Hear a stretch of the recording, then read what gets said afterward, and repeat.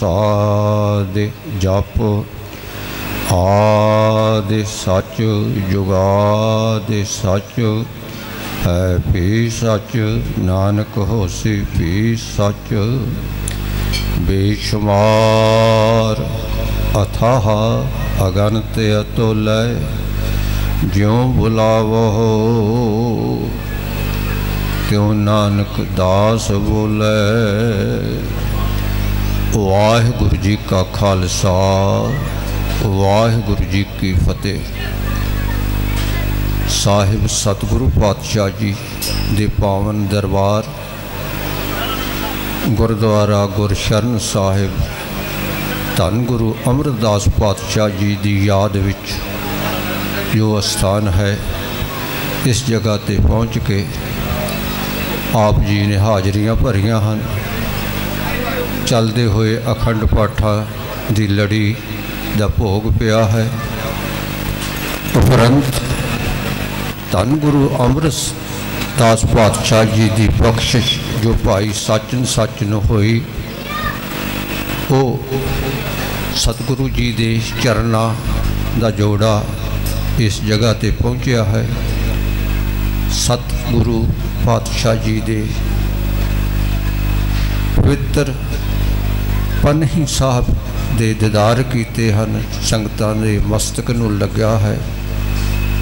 ਜਿਸ ਸਤਿਗੁਰੂ ਦੇ ਚਰਨਾਂ ਦੀ ਸ਼ੋਭ ਪ੍ਰਾਪਤ ਨਾਲ ਰਾਜੇ ਹਰੀ ਚੰਦ ਦੀ ਜੋ ਰਾਣੀ ਸੀ, ਉਹ ਠੀਕ ਹੋ ਗਈ ਸੀ ਤੇ ਸਤਿਗੁਰੂ ਜੀ ਨੇ ਭਾਈ ਸੱਚਨ ਸੱਚ ਤੇ ਬਖਸ਼ਿਸ਼ਾਂ ਕੀਤੀਆਂ ਸਨ। ਆਪ ਜੀ ਇਸ ਸਥਾਨ ਤੇ ਪਹੁੰਚੇ ਹੋ। ਆਓ ਧੰਨ ਗੁਰੂ ਅਮਰਦਾਸ ਪਾਤਸ਼ਾਹ ਜੀ ਦੇ ਚਰਨਾਂ ਨਾਲ ਜੁੜੀਏ। ਗੁਰ ਅਮਰਦਾਸ ਪਰਸੀਐ ਪਹਮ ਪਾਤਕ ਬਿਨਾਸ਼। ਗੁਰ ਅਮਰਦਾਸ ਪਰਸੀਐ, ਸਿਧ ਸਾਧਕ ਆਸਾਸ।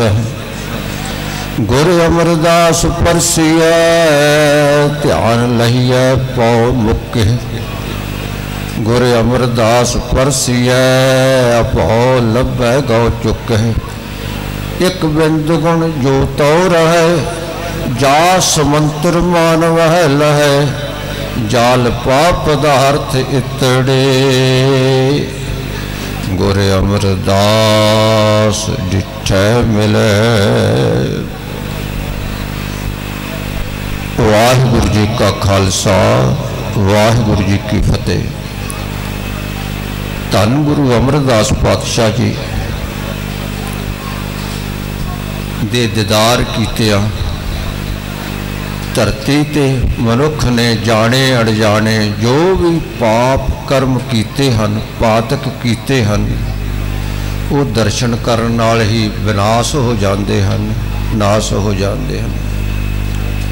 ਧੰਨ ਗੁਰੂ ਅਮਰਦਾਸ ਪਾਤਸ਼ਾਹ ਜੀ ਦੇ ਦਰਸ਼ਨ ਕਰਨ ਨਾਲ ਬੜੀਆਂ ਬੜੀਆਂ ਸਿੱਧੀਆਂ ਦੇ ਮਾਲਕ, ਬੜੇ ਬੜੇ ਪ੍ਰਭੂ ਨੂੰ ਮਿਲਣ ਦੀ ਸਾਧਨਾ ਕਰਨ ਵਾਲੇ ਜੋਗੀ ਤਪਸਵੀ ਉਹਨਾਂ ਨੂੰ ਵੀ ਆਸਰਾ ਮਿਲਦਾ ਹੈ।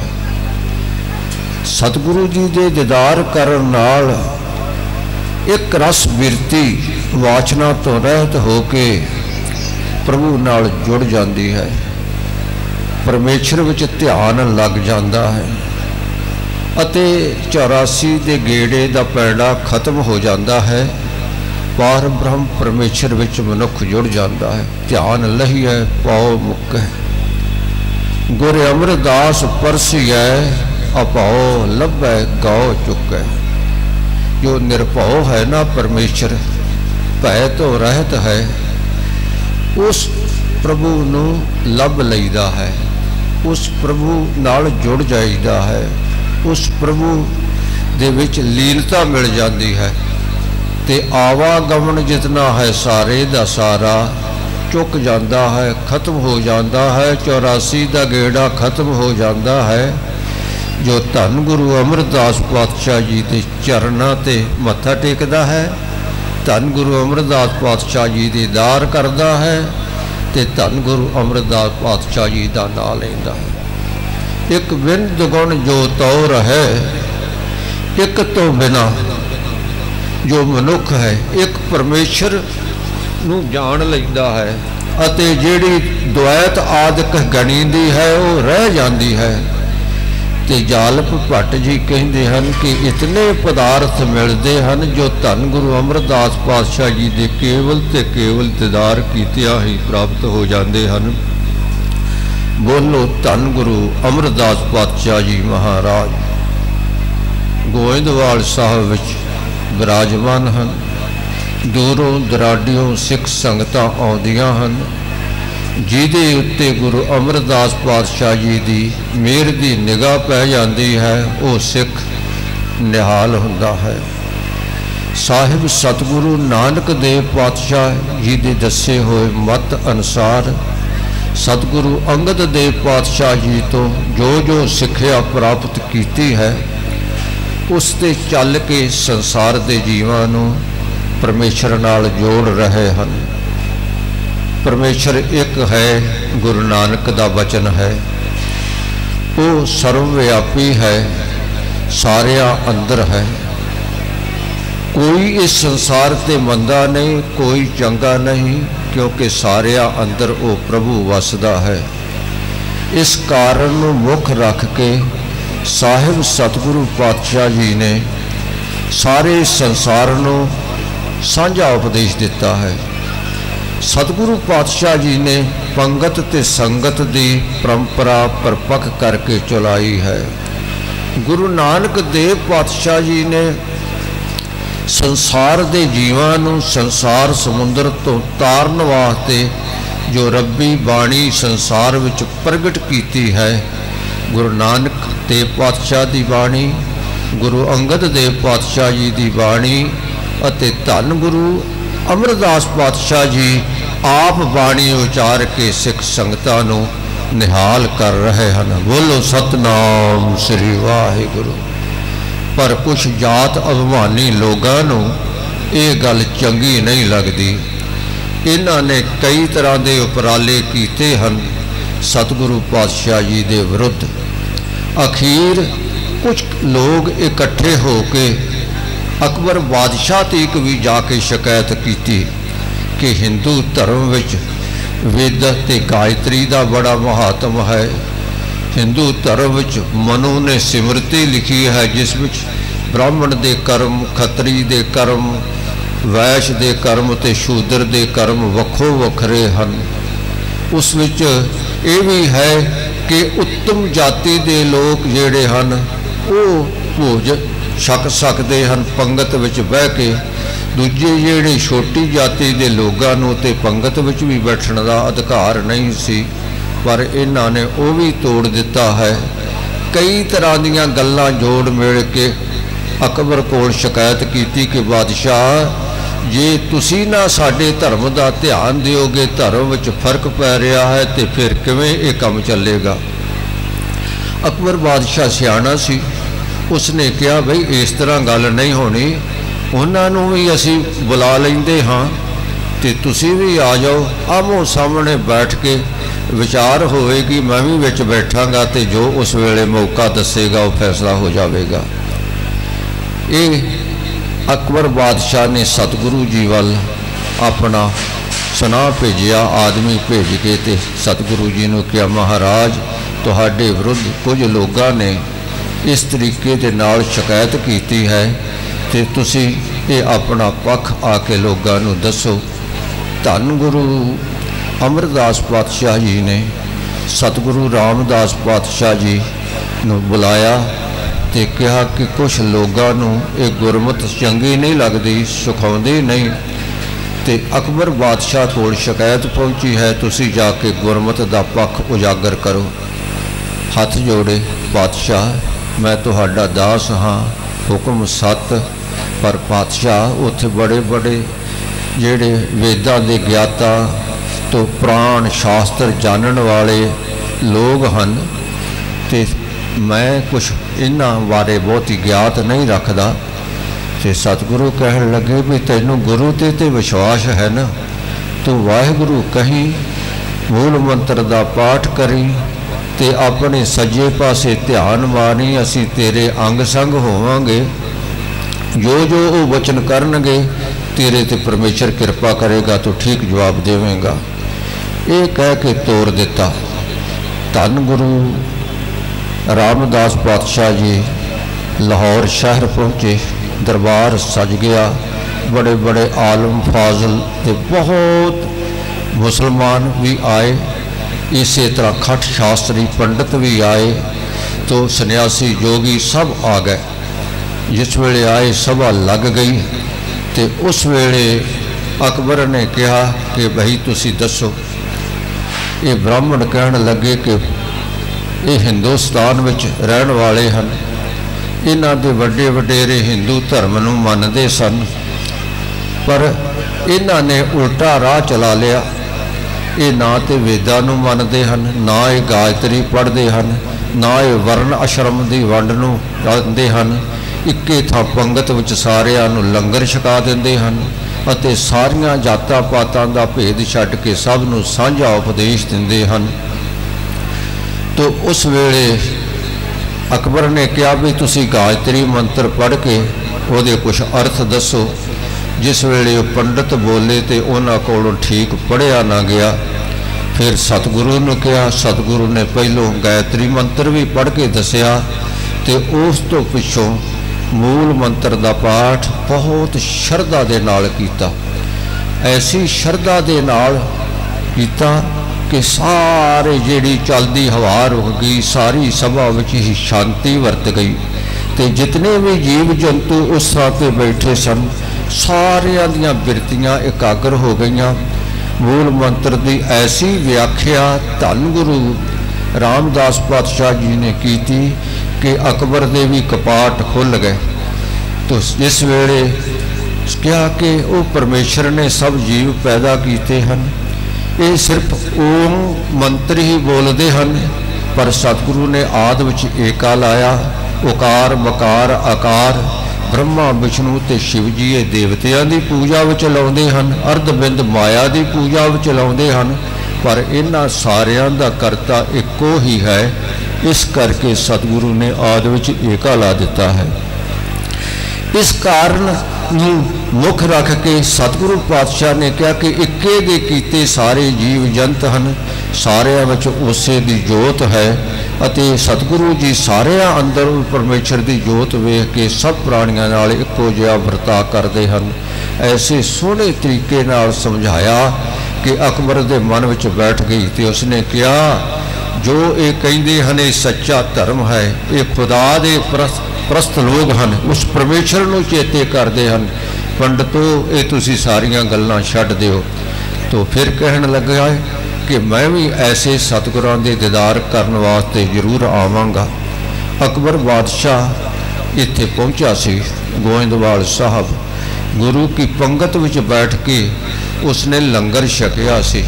ਜਦੋਂ ਸਤਿਗੁਰੂ ਦੇ ਦੀਦਾਰ ਕੀਤੇ, ਉਹਦਾ ਮਨ ਸ਼ਾਂਤ ਹੋ ਗਿਆ ਸੀ ਤੇ ਕਹਿਣ ਲੱਗਾ ਕਿ ਸਤਿਗੁਰੂ, ਇਹ ਤੀਰਥਾਂ ਤੇ ਲੋਕ ਜਾਂਦੇ ਹਨ। ਮੈਂ ਤੇ ਮੇਥੋਂ ਪਹਿਲੋਂ ਕੁਝ ਟੈਕਸ ਲਾਏ ਹੋਏ ਹਨ ਤੀਰਥਾਂ ਦੇ ਉੱਤੇ। ਪਰ ਤੁਸੀਂ ਲੋਕਾਂ ਦਾ ਉਧਾਰ ਕਰਨ ਵਾਸਤੇ ਤੀਰਥਾਂ ਦੀ ਯਾਤਰਾ ਤੇ ਜਾਓ। ਉੱਥੇ ਇਕੱਠੇ ਹੋਏ ਲੋਕਾਂ ਨੂੰ ਇਹ ਉਪਦੇਸ਼ ਬਖਸ਼ੋ ਜੋ ਗੁਰੂ ਨਾਨਕ ਨੇ ਸੰਸਾਰ ਵਿੱਚ ਪ੍ਰਗਟ ਕੀਤਾ ਹੈ। ਤੋ ਇਹ ਸਤਿਗੁਰੂ ਜੀ ਨੂੰ ਸੁਣਾ ਦਿੱਤਾ ਅਤੇ ਕਿਹਾ ਕਿ ਮਹਾਰਾਜ, ਕਿਰਪਾ ਕਰੋ। ਸਤਿਗੁਰੂ ਪਾਤਸ਼ਾਹ ਜੀ, ਤੀਰਥ ਉਦਮ ਸਤਿਗੁਰੂ ਕੀਆ, ਸਭ ਲੋਕ ਉਧਾਰਨ ਅਰਥਾ। ਧੰਨ ਗੁਰੂ ਅਮਰਦਾਸ ਜੀ ਨੇ ਉਦਮ ਕੀਤਾ। ਕਾਦੇ ਵਾਸਤੇ? ਸਾਰੇ ਲੋਕਾਂ ਦਾ ਉਧਾਰ ਕਰਨ ਵਾਸਤੇ ਇਹ ਸਤਿਗੁਰੂ ਜੀ ਤੀਰਥਾਂ ਤੇ ਚੱਲੇ। ਤੇ ਜਿਸ ਵੇਲੇ ਸਤਿਗੁਰੂ ਜੀ ਤੁਰੇ ਤੇ ਗੁਰ ਪ੍ਰਤਾਪ ਸੂਰਜ ਵਿੱਚ ਜ਼ਿਕਰ ਆਉਂਦਾ ਹੈ ਕਿ ਇਹ ਤੀਰਥਾਂ ਤੇ ਯਾਤਰਾ ਕਰਦਿਆਂ ਹੋਇਆਂ ਪਹਿਲੋਂ ਬਿਆਸਾ ਦਰਿਆ ਲੰਘੇ ਉਸ ਤੋਂ ਪਿੱਛੋਂ ਸਤਲੁਜ ਲੰਘੇ ਸਤਲੁਜ ਤੋਂ ਪਿੱਛੋਂ ਸਤਿਗੁਰੂ ਜੀ ਨੰਬਰਵਾਰ ਪੈਂਡਾ ਤੈਅ ਕਰਦੇ ਹੋਏ ਸਭ ਤੋਂ ਪਹਿਲੋਂ ਇੱਥੇ ਭੇਵੇ ਨਗਰ ਵਿੱਚ ਹੀ ਆਏ। ਇੱਥੇ ਗੁਰੂ ਨਾਨਕ ਦੇਵ ਪਾਤਸ਼ਾਹ ਜੀ ਵੀ ਪਹੁੰਚੇ ਸਨ। ਸਤਿਗੁਰੂ ਪਾਤਸ਼ਾਹ ਜੀ ਨੇ ਇਸ ਜਗ੍ਹਾ ਤੇ ਜੀਵਾਂ ਨੂੰ ਉਪਦੇਸ਼ ਦਿੱਤਾ ਸੀ, ਸਤਿਗੁਰੂ ਜੀ ਦਾ ਅਸਥਾਨ ਇੱਥੇ ਹੈ।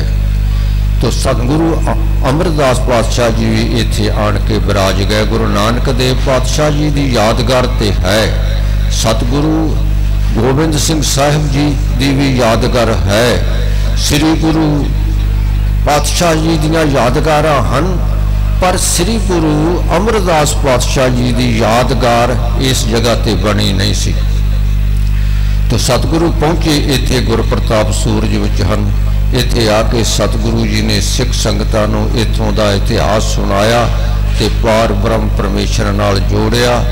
ਇਸ ਤੋਂ ਪਿੱਛੋਂ ਸਾਹਿਬ ਸਤਿਗੁਰੂ ਪਾਤਸ਼ਾਹ ਜੀ ਸੰਗਤਾਂ ਨੂੰ ਇਸ ਜਗ੍ਹਾ ਤੇ ਨਿਹਾਲ ਕਰਕੇ ਪਾਰ ਬ੍ਰਹਮ ਪਰਮੇਸ਼ਰ ਨਾਲ ਜੋੜ ਕੇ ਤੇ ਫਿਰ ਇਥੋਂ ਕੁਰਸ਼ੇਤਰ ਗਏ ਹਨ। ਇੱਥੇ ਕੁਰਸ਼ੇਤਰ ਤੇ ਜਾ ਕੇ ਸਤਿਗੁਰੂ ਜੀ ਨੇ ਬੇਅੰਤ ਸਿੱਖ ਸੰਗਤਾਂ ਨੂੰ ਪਾਰ ਬ੍ਰਹਮ ਪਰਮੇਸ਼ਰ ਨਾਲ ਜੋੜਿਆ।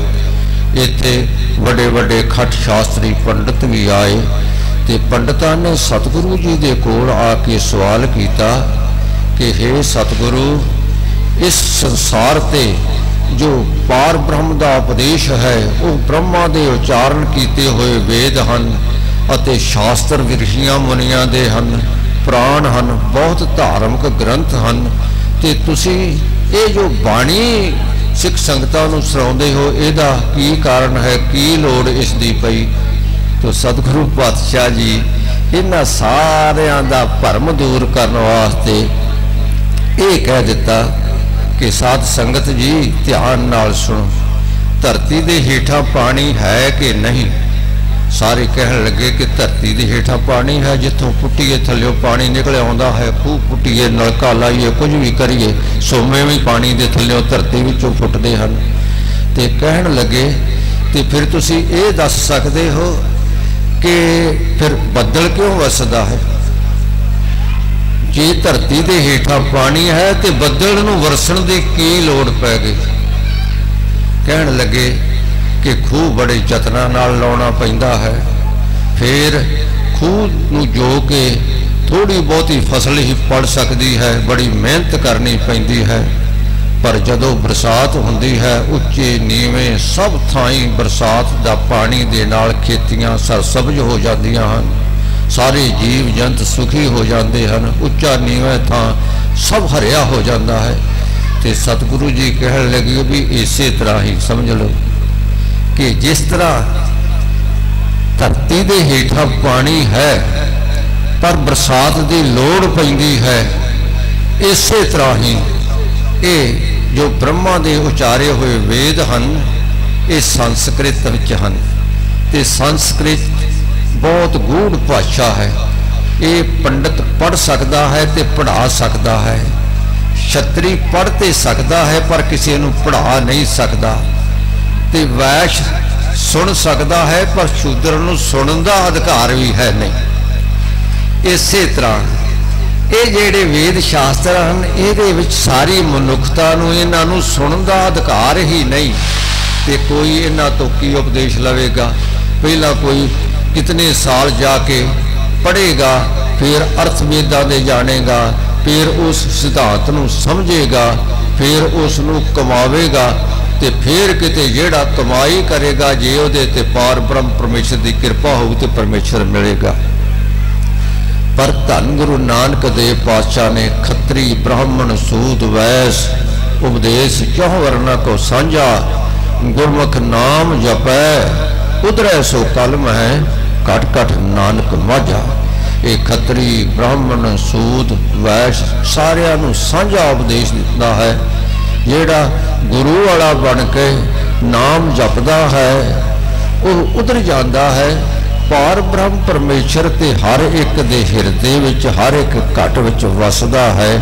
ਇਹ ਸਤਿਗੁਰੂ ਪਾਤਸ਼ਾਹ ਜੀ ਨੇ ਜਿਸ ਵੇਲੇ ਕਿਹਾ ਤੇ ਸਾਰੇ ਪੰਡਤ ਸਤਿਗੁਰੂ ਜੀ ਦੇ ਚਰਨੀ ਲੱਗੇ।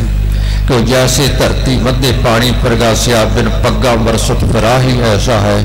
ਇਸ ਤਰ੍ਹਾਂ ਬੱਦਲ ਜਿਹੜਾ ਹੈ ਵਰਦਾ ਫਿਰਦਾ ਹੈ, ਇਸ ਤਰ੍ਹਾਂ ਸਤਿਗੁਰੂ ਉਪਦੇਸ਼ ਦੇ ਰਹੇ ਹਨ। ਇਸ ਤਰ੍ਹਾਂ ਉੱਥੇ ਸਾਰਿਆਂ ਨੂੰ ਨਿਹਾਲ ਕੀਤਾ ਸੀ, ਸਾਹਿਬ ਸਤਿਗੁਰੂ ਪਾਤਸ਼ਾਹ ਜੀ ਨੇ। ਇਸ ਤਰ੍ਹਾਂ ਤੀਰਥਾਂ ਤੇ ਸਤਿਗੁਰੂ ਜੀ ਦੇ ਨਾਲ ਜਿਤਨੇ ਵੀ ਜਗਾਤੀਏ ਸਨ, ਉਹਨਾਂ ਦੀਆਂ ਗੋਲਕਾਂ ਬੰਦ ਹੋ ਗਈਆਂ। ਸਤਿਗੁਰੂ ਦੇ ਪਿੱਛੇ ਲੱਗ ਕੇ ਸਾਹਿਬ ਸਤਿਗੁਰੂ ਜੀ ਦੇ ਨਾਲ ਹਜ਼ਾਰਾਂ ਹੀ ਸੰਗਤਾਂ ਤੀਰਥਾਂ ਦੀ ਯਾਤਰਾ ਕੀਤੀ ਤੇ ਨਾਲੇ ਸਾਹਿਬ ਸਤਿਗੁਰੂ ਪਾਤਸ਼ਾਹ ਜੀ ਦੇ ਦੀਦਾਰ ਕੀਤੇ, ਨਾਮ ਬਾਣੀ ਨਾਲ ਜੁੜੇ ਤੇ ਸੰਸਾਰ ਸਮੁੰਦਰ ਤੋਂ ਪਾਰ ਹੋਏ।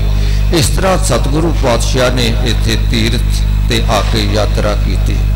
ਧੰਨ ਧੰਨ ਸਾਹਿਬ ਸਤਿਗੁਰੂ ਅਮਰਦਾਸ ਪਾਤਸ਼ਾਹ ਜੀ ਦੇ ਚਰਨਾਂ ਦਾ ਜੋੜਾ, ਜੋ ਭਾਈ ਸਚਨ ਸੱਚ ਨੂੰ ਬਖਸ਼ਿਆ ਸੀ, ਉਸ ਬਾਰੇ ਵੀ ਆਪਾਂ ਥੋੜੀ ਜੀ ਵਿਚਾਰ ਕਰ ਲਈਏ। ਧੰਨ ਗੁਰੂ ਅਮਰਦਾਸ ਪਾਤਸ਼ਾਹ ਜੀ ਨੇ ਸਤਿਗੁਰੂ ਅੰਗਦ ਦੇਵ ਪਾਤਸ਼ਾਹ ਜੀ ਦੇ ਹੁਕਮ ਦੇ ਨਾਲ ਗੋਇੰਦਵਾਲ ਵਸਾਇਆ। ਗੋਇੰਦਵਾਲ ਗੋਬਿੰਦਪੁਰੀ ਸਮ ਜਲਨ ਤੀਰ ਵਿਪਾਸ ਬਣਾਵੇ, ਬਣਾਇਓ। ਤੋ ਇਹ ਬਿਆਸ ਦਰਿਆ ਦੇ ਕੰਢੇ ਤੇ ਸਤਿਗੁਰੂ ਜੀ ਨੇ ਇਹ ਗੋਬਿੰਦ ਦੀ ਪੁਰੀ ਸੱਚਖੰਡ ਦੇ ਬਰਾਬਰ ਗੋਇੰਦਵਾਲ ਸਾਹਿਬ ਵਸਾਇਆ।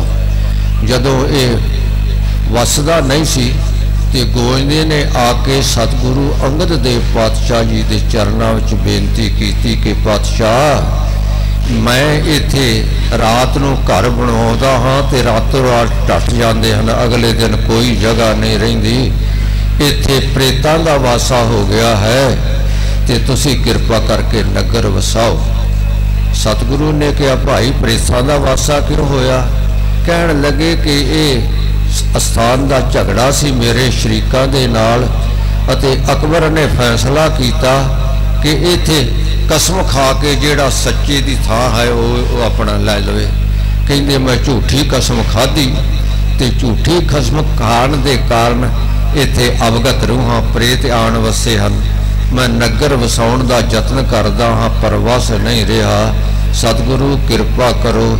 ਜਿਤਨੀ ਜਗ੍ਹਾ ਦੀ ਲੋੜ ਹੈ, ਉਹ ਤੁਸੀਂ ਲੈ ਲਓ ਅਤੇ ਇਸ ਜਗ੍ਹਾ ਤੇ ਨਗਰ ਵਸਾਓ। ਸਤਿਗੁਰੂ ਪਾਤਸ਼ਾਹ ਗੁਰੂ ਅੰਗਦ ਦੇਵ ਪਾਤਸ਼ਾਹ ਦੇ ਚਰਨਾਂ ਵਿੱਚ ਬੇਨਤੀ ਕੀਤੀ ਤੇ ਸਤਿਗੁਰੂ ਜੀ ਵੀ ਬਖਸ਼ਿਸ਼ ਸ੍ਰੀ ਗੁਰੂ ਅਮਰਦਾਸ ਪਾਤਸ਼ਾਹ ਤੇ ਕਰ ਚੁੱਕੇ ਸਨ। ਤੋਂ ਵੇਖ ਰਹੇ ਸਨ ਕਿ ਇਹੋ ਹੀ ਇਸ ਅਸਥਾਨ ਤੇ ਸਾਡੀ ਜਗ੍ਹਾ ਤੇ ਬੈਠ ਕੇ ਸਿੱਖ ਸੰਗਤਾਂ ਦਾ ਪਾਰ ਉਤਾਰਾ ਕਰਨਗੇ। ਇਸ ਕਰਕੇ ਪਹਿਲੋਂ ਪਰਖ ਕਰ ਲਈਏ। ਪੁੱਤਰ ਵੱਡੇ ਨੂੰ ਕਿਹਾ, ਦਾਸੂ ਨੂੰ ਕਿਹਾ, ਪੁੱਤਰ, ਇਹ ਆਇਆ ਹੈ ਗੋਇੰਦਾ। ਇਹਦੇ ਨਾਲ ਗੋਇੰਦਵਾਲ ਜਾਓ ਅਤੇ ਉੱਥੇ ਨਗਰ ਵਸਾਓ। ਕਹਿਣ ਲੱਗੇ, ਸਾਨੂੰ ਕੀ ਲੋੜ ਹੈ? ਅਸੀਂ ਇੱਥੇ ਸੁਖੀ ਵਸਦੇ ਹਾਂ। ਉਸ ਜਗ੍ਹਾ ਤੇ ਜਾਈਏ। ਤੋਂ ਜਵਾਬ ਦੇ ਦਿੱਤਾ। ਫਿਰ ਦਾਸੂ ਨੂੰ ਕਿਹਾ, ਤੋਂ ਉਸਨੇ ਵੀ ਜਵਾਬ ਦੇ ਦਿੱਤਾ। ਫਿਰ ਧੰਨ ਗੁਰੂ ਅਮਰਦਾਸ ਪਾਤਸ਼ਾਹ ਜੀ ਨੂੰ ਕਿਹਾ, ਹੱਥ ਜੋੜੇ ਪਾਤਸ਼ਾਹ, ਆਪ ਜੀ ਦਾ ਜੋ ਹੁਕਮ ਹੈ ਉਸ ਤਰ੍ਹਾਂ ਹੀ ਹੋਵੇਗਾ। ਪਰਦਾਸ ਤੇ ਕਿਰਪਾ ਕਰੋ, ਤੁਹਾਡੀ ਬਖਸ਼ਿਸ਼ ਤੋਂ ਬਿਨਾ ਕੋਈ ਵੀ ਕਾਰਜ ਨਹੀਂ ਹੋ ਸਕਦਾ।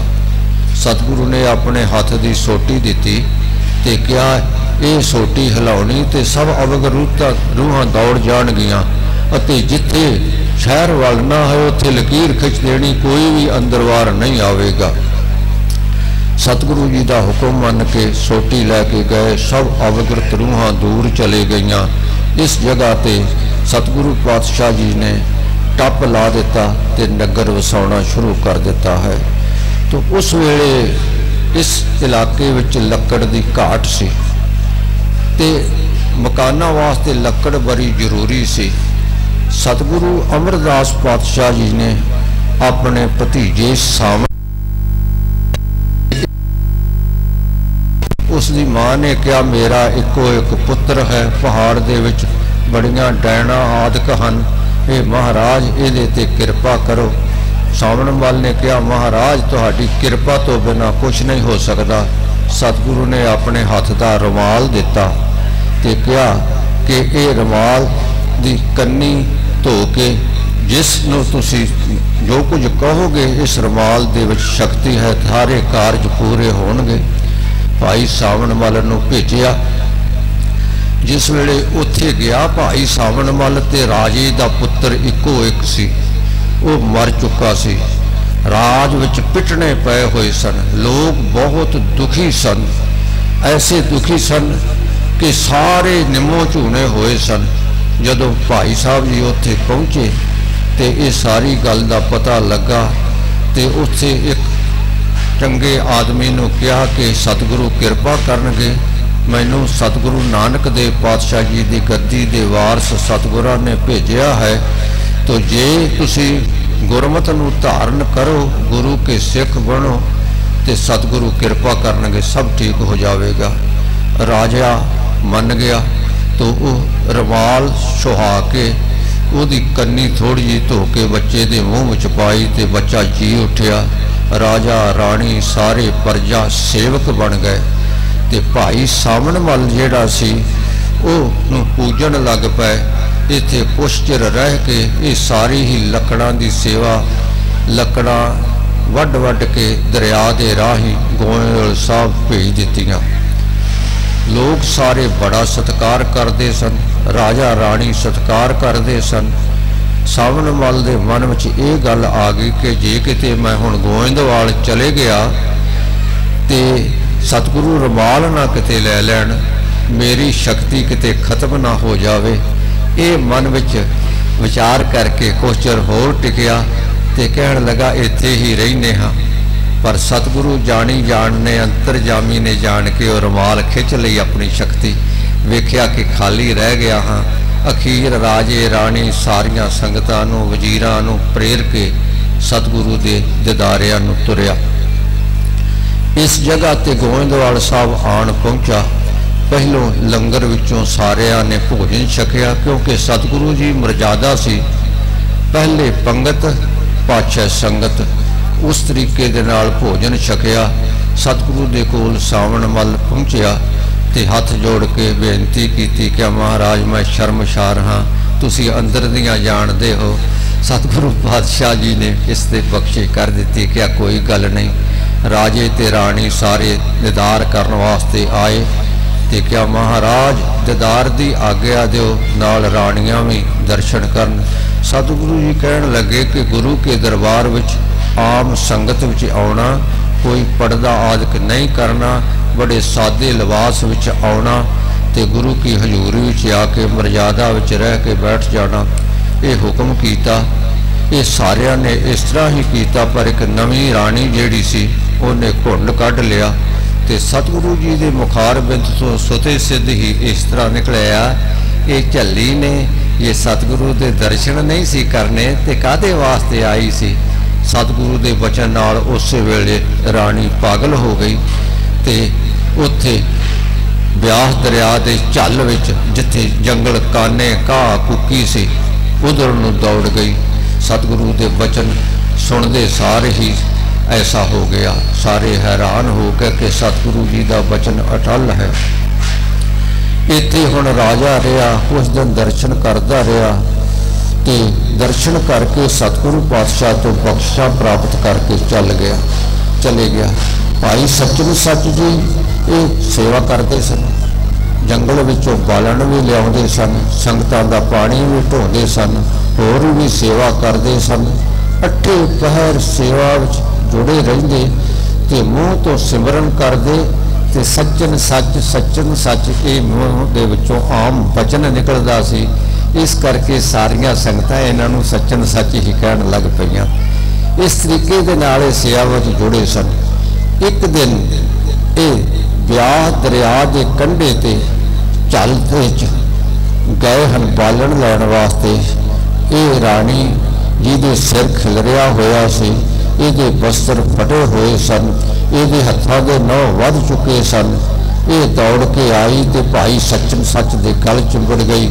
ਇਸ ਨੂੰ ਖੂਨ ਮਾਰੇ, ਦੰਦੀਆਂ ਵੱਡੀਆਂ ਬੇਹਾਲ ਕੀਤਾ। ਮਸਾ ਮਸਾ ਹੀ ਸੱਚਨ ਸੱਚ ਛੁੱਟਿਆ ਅਤੇ ਉਸ ਵੇਲੇ ਉਸ ਦਿਨ ਬਾਲਣ ਵੀ ਥੋੜਾ ਲਿਆਇਆ ਤੇ ਸਤਿਗੁਰੂ ਪਾਤਸ਼ਾਹ ਜੀ ਦੇ ਕੋਲ ਆਇਆ। ਅੰਤਰਜਾਮੀ ਸਭ ਕੁਝ ਜਾਣਦੇ ਸਨ ਕਿ ਆ ਸੱਚਨ ਸੱਚ ਅੱਜ ਬਾਲਣ ਥੋੜਾ ਲਿਆਇਆ ਹੈ। ਕੀ ਗੱਲ ਹੈ? ਸਰੀਰ ਤੇ ਜ਼ਖਮ ਹੈ।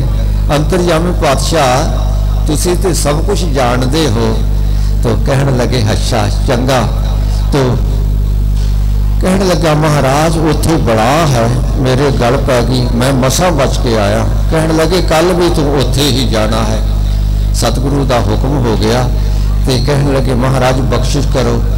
ਫਿਰ ਸਤਿਗੁਰੂ ਜੀ ਨੇ ਆਪਣਾ ਇਹ ਜੋੜਾ ਭਾਈ ਸੱਚਨੇ ਸੱਚ ਨੂੰ ਦਿੱਤਾ। ਕਹਿਣ ਲੱਗੇ ਕਿ ਜਦੋਂ ਉਹ ਆਵੇਗੀ, ਉਹਦੇ ਸਿਰ ਨੂੰ ਇਹ ਸੁਹਾ ਦੇਣਾ ਤੇ ਉਹ ਠੀਕ ਹੋ ਜਾਵੇਗੀ। ਸਤਿਗੁਰੂ ਜੀ ਦਾ ਬਚਨ ਮੰਨ ਕੇ ਭਾਈ ਸੱਚਨ ਸੱਚ ਜੀ ਜਦੋਂ ਉੱਥੇ ਪਹੁੰਚੇ ਤੇ ਉਹ ਜੋੜਾ ਸਿਰ ਨੂੰ ਸੁਹਾਇਆ ਤੇ ਰਾਣੀ ਜਿਹੜੀ ਸੀ ਉਹ ਠੀਕ ਹੋ ਗਈ, ਬੈਠ ਗਈ, ਕਹਿੰਦੀ, ਗੁਰਸਿੱਖਾ, ਮੇਰੇ ਤੇ ਬਖਸ਼ਿਸ਼ ਕਰ। ਮੈਂ ਗੁਰੂ ਦਾ ਬਚਨ ਉਲੱਦਿਆ ਸੀ, ਨਹੀਂ ਸੀ ਮੰਨਿਆ। ਤਾਂ ਮੇਰੀ ਇਹ ਹਾਲਾਤ ਹੋ ਗਈ, ਹੁਣ ਮੈਨੂੰ ਕੋਈ ਕੱਪੜਾ ਦੇ ਆਪਣੇ ਉੱਪਰ ਦੀ ਕੰਬਲੀ ਭਾਈ ਸਚਨ ਸੱਚ ਜੀ ਨੇ ਉਸ ਨੂੰ ਦਿੱਤੀ। ਉਸਨੇ ਕੰਬਲੀ ਨਾਲ ਸਰੀਰ ਢੱਕਿਆ ਤੇ ਨਾਲ ਲੈ ਕੇ ਸਾਹਿਬ ਸਤਿਗੁਰੂ ਜੀ ਦੀ ਸ਼ਰਨ ਵਿੱਚ ਪਹੁੰਚਾ ਭਰੇ ਦੀਵਾਨ ਵਿੱਚ ਸਤਿਗੁਰੂ ਜੀ ਬੈਠੇ ਸਨ। ਮੇਰ ਦੀ ਨਿਗਾਹ ਨਾਲ ਇਹਨਾਂ ਦੋਹਾਂ ਵੱਲ ਵੇਖਿਆ ਤੇ ਕਿਹਾ ਕਿ ਹੁਣ ਤੁਸੀਂ ਪਤੀ ਸਤੀ ਬਣ ਕੇ ਇਸ ਸੰਸਾਰ ਵਿੱਚ ਰਹਿਣਾ ਹੈ। ਇਹ ਜੋੜਾ ਤੁਹਾਡੇ ਕੋਲ ਰਹੇਗਾ।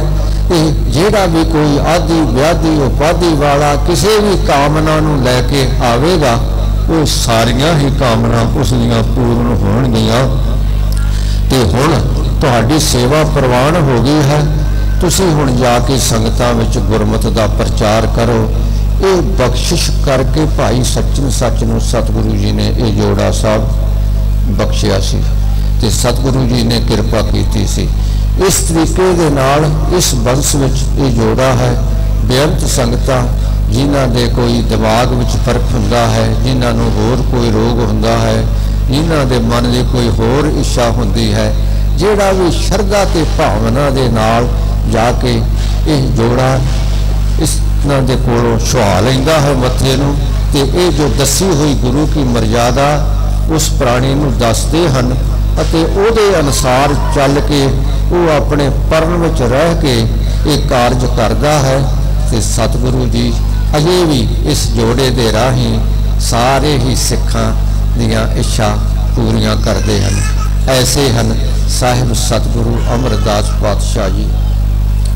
ਧੰਨ ਗੁਰੂ ਅਮਰਦਾਸ ਪਾਤਸ਼ਾਹ ਜੀ ਦੇ ਘਰ ਵਿੱਚ ਕਿਸੇ ਦਾ ਘਾਟਾ ਨਹੀਂ, ਕਿਸੇ ਵਸਤੂ ਦਾ ਨਹੀਂ। ਕਿਉਂਕਿ ਉਹ ਪਰਮੇਸ਼ਰ ਦਾ ਰੂਪ ਹਨ। ਇੱਕ ਵੈਰਾਗੀ ਸਾਧੂ, ਜਿਸ ਨੂੰ ਸਤਿਗੁਰੂ ਦੀ ਮਹਿਮਾ ਦਾ ਪਤਾ ਲੱਗਾ ਤੇ ਇਹ ਵਿਸ਼ਨੂੰ ਜੀ ਦਾ ਉਪਾਸ਼ਕ ਸੀ। ਸਤਿਗੁਰੂ ਦੇ ਦਰਸ਼ਨ ਕਰਨ ਵਾਸਤੇ ਆਇਆ। ਦਰਸ਼ਨ ਕਰਨ ਵਾਸਤੇ ਜਦੋਂ ਆਇਆ ਸਤਿਗੁਰੂ ਜੀ ਦੀ ਹਜ਼ੂਰੀ ਵਿੱਚ ਤੇ ਇਹ ਸੋਮ ਪਾਕੀ ਸੀ, ਆਪਣਾ ਭੋਜਨ ਆਪ ਤਿਆਰ ਕਰਕੇ ਖਾਂਦਾ ਸੀ ਤੇ ਆਪਣੇ ਉੱਚੀ ਜਾਤ ਦਾ ਇਹ ਬ੍ਰਾਹਮਣ ਸੀ, ਪਰ ਅੱਗੇ ਸਤਿਗੁਰੂ ਜੀ ਨੇ ਹੁਕਮ ਕੀਤਾ ਸੀ ਕਿ ਪਹਿਲੇ ਪੰਗਤ ਤੇ ਪਾਛੇ ਸੰਗਤ। ਹੁਣ ਸਤਿਗੁਰੂ ਪਾਤਸ਼ਾਹ ਜੀ ਦੀ ਹਜ਼ੂਰੀ ਵਿੱਚ ਇਹ ਹੁਕਮ ਮੰਨ ਨਾ ਸਕਿਆ ਤੇ ਕਹਿੰਦਾ, ਚੱਲ ਮਨਾ, ਹੁਣ ਦਵਾਰਕਾ ਨੂੰ ਜਾਈਏ ਤੇ ਉੱਥੇ ਜਾ ਕੇ ਭਗਵਾਨ ਸ੍ਰੀ ਕ੍ਰਿਸ਼ਨ ਜੀ ਦੇ ਅਸਥਾਨ ਤੇ ਦਰਸ਼ਨ ਕਰਕੇ ਆਈਏ। ਤੁਰਿਆ ਜਾ ਰਿਹਾ ਸੀ ਰਸਤੇ ਦੇ ਵਿੱਚ ਤੇ ਇਸ ਨੂੰ ਇਕਾਦਸ਼ੀ ਦਾ ਦਿਨ ਆ ਗਿਆ। ਇਸ ਨੇ ਵਰਤ ਰੱਖਿਆ। ਹੁਣ ਵਰਤ ਖੋਲਣਾ ਸੀ ਤੇ ਮਨ ਵਿੱਚ ਫੁਰਨਾ ਹੋਇਆ ਕਿ ਕੋਈ ਭੋਜਨ ਹੁੰਦਾ ਤੇ ਵਰਤ ਖੋਲ ਲੈਂਦੇ। ਪਰ ਅੱਖਾਂ ਮੀਟ ਕੇ ਬੈਠਾ ਸੀ, ਅੱਖਾਂ ਖੋਲੀਆਂ, ਸਾਹਮਣੇ ਪਰੋਸਿਆ ਹੋਇਆ ਥਾਲ ਸੀ ਭੋਜਨ ਦਾ। ਫਿਰ ਮਨ ਵਿੱਚ ਵਿਚਾਰ ਕੀਤੀ, ਜੇ ਇਸ ਤਰ੍ਹਾਂ ਛਕਣਾ ਹੁੰਦਾ ਤੇ ਮੈਂ ਗੁਰੂ ਅਮਰਦਾਸ ਜੀ ਦੇ ਲੰਗਰ ਵਿੱਚੋਂ ਛਕ ਲੈਂਦਾ। ਜੇ ਕਿਤੇ ਪੱਕਾ ਪਕਵਾਨ ਹੋਵੇ ਤੇ ਉਹ ਮੈਂ ਛਕ ਸਕਦਾ ਹਾਂ। ਫਿਰ ਅੱਖਾਂ ਮੀਟ ਲਈਆਂ ਜਦੋਂ ਖੋਲੀਆਂ ਤੇ ਪੱਕਾ ਪਕਵਾਨ ਸਾਹਮਣੇ ਥਾਲੀ ਵਿੱਚ ਦਿਸਿਆ। ਫਿਰ ਕਹਿੰਦਾ, ਹੈ ਵਾਹਿਗੁਰੂ ਅਕਾਲ ਪੁਰਖ, ਹੈ ਪਰਮੇਸ਼ਰ, ਹੈ ਭਗਵਾਨ, ਹੈ ਕ੍ਰਿਸ਼ਨ ਜੀ, ਤੁਸੀਂ ਮੇਰੀਆਂ ਇੱਛਾ ਪੂਰੀਆਂ ਕਰਦੇ ਹੋ, ਪਰ ਮੈਨੂੰ ਦਰਸ਼ਨ ਕਿਉਂ ਨਹੀਂ ਦਿੰਦੇ? ਤੋ ਉਸ ਵੇਲੇ ਆਵਾਜ਼ ਆਈ ਕਿ, ਮਾਈ ਦਾਸ ਜਿੱਥੇ ਤੂੰ ਦਰਸ਼ਨ ਕਰਨੇ ਸਨ, ਉੱਥੇ ਤੂੰ ਸ਼ੰਕਾ ਕਰਕੇ ਉਸ ਤਰ੍ਹਾਂ ਹੀ ਆ ਗਿਓ। ਤੇ ਹੁਣ ਤੂੰ ਆਨਾ ਹੈ ਦਵਾਰਕਾ ਵਿੱਚ ਜਾ ਕੇ ਦਰਸ਼ਨ ਕਰਨ। ਐਸ ਵੇਲੇ ਸਾਡਾ ਜੋ ਸਰਬੁਣ ਸਰੂਪ ਹੈ, ਉਹ ਗੁਰੂ ਅਮਰਦਾਸ ਪਾਤਸ਼ਾਹ ਜੀ ਹਨ। ਜੇ ਤੂੰ ਦਿਦਾਰ ਕਰਨੇ ਹਨ, ਤੇ ਵਾਪਸ ਘੋਂਦਵਾਲ ਚਲੇ ਜਾ। ਬੋਲੋ, ਸਤਨਾਮ ਸ੍ਰੀ ਵਾਹਿਗੁਰੂ। ਹੁਣ ਇਹ ਬਚਨ ਸੁਣ ਕੇ ਤੇ ਮਾਈ ਦਾਸ ਵਾਪਸ ਤੁਰਿਆ। ਹੁਣ ਆ ਕੇ ਸਾਰੀਆਂ ਗਿਣਤੀਆਂ ਮਿਣਤੀਆਂ ਛੱਡ ਕੇ ਪਹਿਲੋਂ ਗੁਰੂ ਕੇ ਲੰਗਰ ਵਿੱਚੋਂ ਇਸਨੇ ਭੋਜਨ ਛਕਿਆ। ਭੋਜਨ ਛਕ ਕੇ ਤੇ ਮਨ ਵਿੱਚ ਫੁਰਨਾ ਕਰ ਲਿਆ हे ਸਤਿਗੁਰੂ ਪਾਤਸ਼ਾਹ, ਮੈਂ ਵਿਸ਼ਨੂੰ ਜੀ ਦਾ ਉਪਾਸ਼ਕ ਹਾਂ ਤੇ ਜੇ ਤੁਸੀਂ ਮੇਰੇ ਤੇ ਕਿਰਪਾ ਕਰੋ, ਮੈਨੂੰ ਵਿਸ਼ਨੂੰ ਦੇ ਰੂਪ ਵਿੱਚ ਦਰਸ਼ਨ ਦਿਓ ਤੇ ਮੈਂ ਨਿਹਾਲ ਹੋ ਜਾਵਾਂ। ਸੰਖ ਚੱਕਰ ਕਦਾ ਪਦਮ, ਆਪ ਆਪ ਕਿਉ ਸ਼ਦਮ। ਅਪਰੰਪਰ ਪਾਰ ਬ੍ਰਹਮ ਲਖੇ ਕੌਣ ਤਾਹੇ ਜਿਉ? ਸਤ ਸਾਜ ਸ੍ਰੀ ਨਿਵਾਸ ਆਦ ਪੁਰਖ ਸਦਾ ਤੁਹੀ। ਵਾਹਿਗੁਰੂ ਵਾਹਿਗੁਰੂ ਵਾਹਿਗੁਰੂ ਵਾਹਿਗੁਰੂ। ਵਿਸ਼ਨੂੰ ਸਰੂਪ ਦੇ ਦਿਦਾਰਿਆਂ ਦੀ ਮਨ ਵਿੱਚ ਇੱਛਾ ਸੀ। ਆਇਆ, ਜਦੋਂ ਸਾਹਮਣੇ ਦਿਦਾਰ ਕੀਤੇ ਤੇ ਇਸ ਨੇ ਐਸੀ ਚਮਕ ਪਈ ਕਿ ਅੱਖਾਂ ਚੁੰਝਾ ਗਈਆਂ, ਤੋਂ ਸਾਹਮਣੇ ਉਹ ਰੂਪ ਦਰਸ਼ਨ ਹੋਏ। ਚਰਨਾਂ ਤੇ ਮੱਥਾ ਟੇਕਿਆ। ਹੁਣ ਸਿਰ ਚੁੱਕਣ ਨੂੰ ਦਿਲ ਨਹੀਂ ਕਰਦਾ। ਅੱਖਾਂ ਵਿੱਚੋਂ ਜਲ ਵਹਿਆ ਤੇ ਸਤਿਗੁਰੂ ਦੇ ਚਰਨਾਂ ਤੇ ਤੁਬਕੇ ਡਿੱਗ ਕੇ ਚਰਨ ਤੁਪ ਗਏ ਹਨ।